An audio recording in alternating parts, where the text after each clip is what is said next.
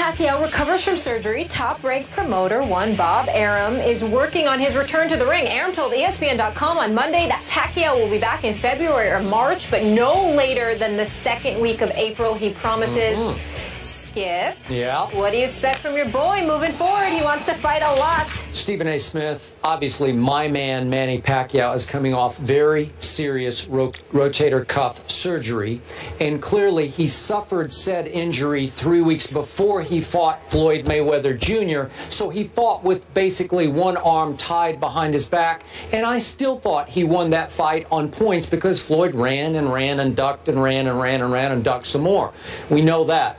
So now Floyd May Mayweather Jr. has retired after he, quote unquote, fought Andre Berto. Well, I can guarantee you, Manny Pacquiao will not fight any Andre Bertos as he rebuilds himself toward fighting condition and will then challenge Floyd again. But obviously, Floyd is now retired, so he will run and duck into retirement. And I don't think they'll ever fight again because Floyd would be afraid to fight a Manny with two arms two instead arms. of one.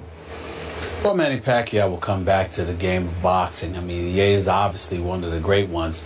Here's hoping he doesn't get put to sleep. Mm. Uh, doesn't look like if he took uh, overdosed on Ambien. Uh, let's make sure that we that nothing like that happens to him.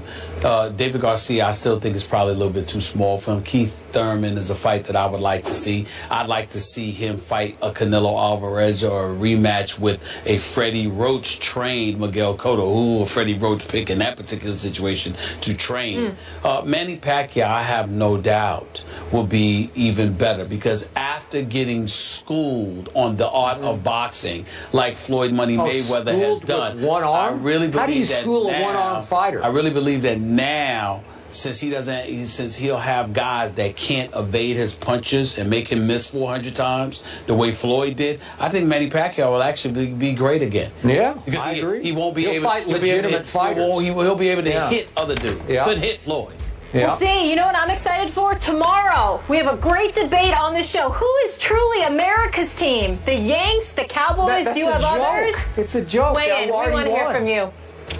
In place of Josh McCown, who was out because of a concussion, Johnny Manziel led Cleveland to a 28-14 win over Tennessee. That led many people to wonder what would happen when McCown came back. Well, we have that answer.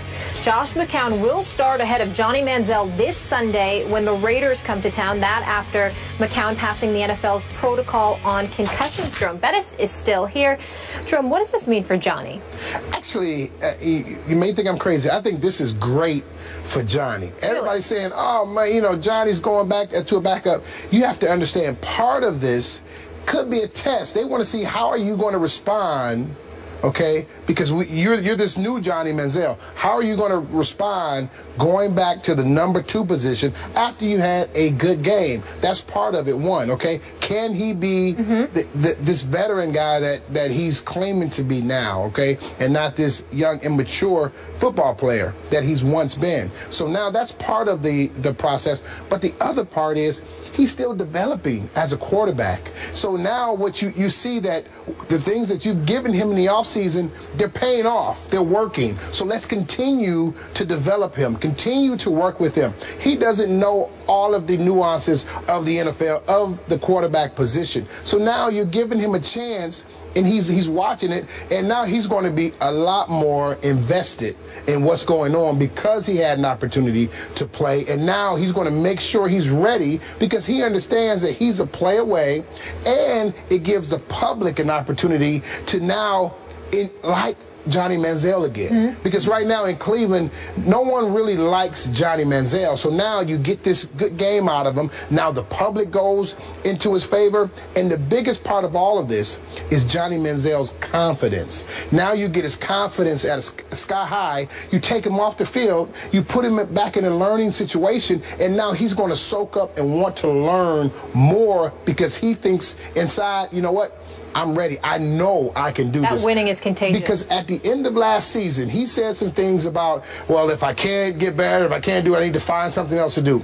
That is a sign that, that there's no confidence there as a football player. So now you're building his confidence, okay? You, you're building his resume.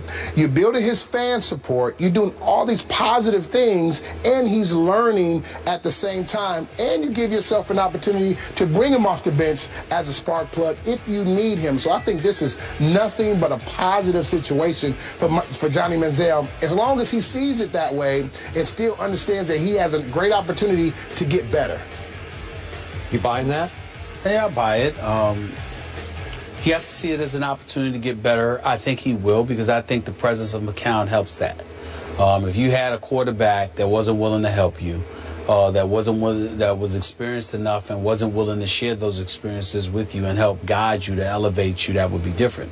But the fact that you're playing behind a quarterback that's willing to do that for you, I think goes a long way to facilitating Johnny Manziel's growth. And I think as long as he sees that, he's willing to learn. Because I think that you got to remember, this would be far more difficult for him if it was the Johnny Manziel straight out of Texas A&M, who yes. never played in the NFL, who believed he was it and who is this guy. but the fact that he struggled the way that he struggled last year, went through what he went through, plus had the off season or off the field issues that he had I think that that's humbled him to a point where somebody is gracious um, from from just just from a human perspective, as Josh McCown is. I think that helps Johnny Manziel immensely.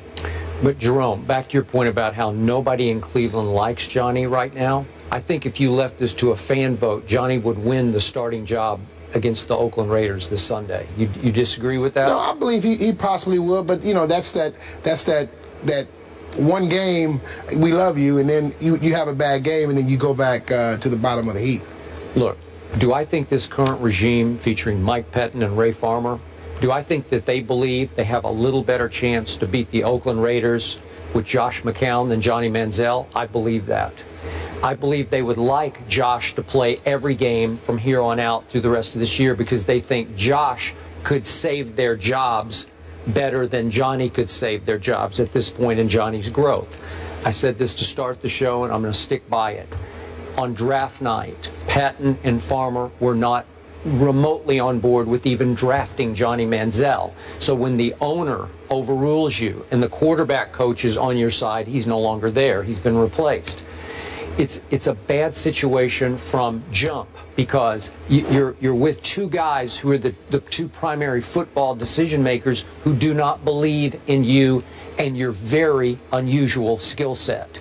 And as I, I always say, you, you either gulp the Johnny Kool-Aid or you're going to spit it out because it's going to have a bitter taste to you because it is completely unconventional. I think it makes them nervous. Josh McCown makes them very comfortable. So I'm not surprised they went back to Josh, though I think the fans, especially the season ticket holders, would rather lose with Johnny than lose with Josh because it's just a lot more fun. It's a lot more fun to watch, right? So they're doing what they need to do to save their jobs which I don't think will get saved at all. I think this will be their their last year, one and done this year. So do you think, let me ask you this question, do you think it's beneficial for Johnny Manziel to go back to the backup role?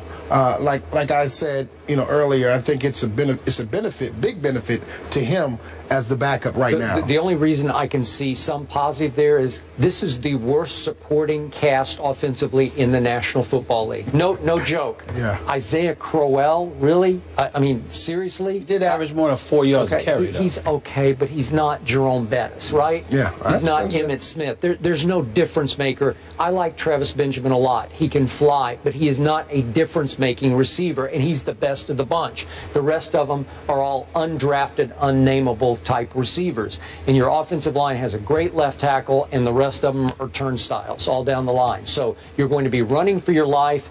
And God bless Josh McCown because well, you saw what he yeah. did. He, he vaults into the end zone, helicopters into the end zone, and got concussed. He's just trying to score, just trying to survive. They're all trying to survive.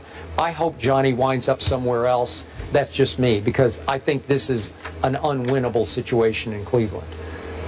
All I know is if Josh struggles on Sunday against the Raiders, we'll be hearing the Johnny oh, chance. Oh yeah, the backup quarterback you, quickly beco becomes the favorite. And you know what? The Raiders are no joke to me. Mm-hmm. They're, they're, going yeah. to cause problems for well, everybody. I wanted to mention that. I'm, I'm, surprised. I'm pleasantly surprised at what I'm seeing from the Raiders. They don't seem as pathetic. As yeah, after the first game, everybody Derek kind of Carr. Derek Carr was taken in the draft later mm -hmm. than than Johnny Manziel. He was. Let's see what he does. Let's see what Amari Cooper does. Yep. And some of those guys on defense, some really great pieces. Yeah. More first take after the break. Keep it here.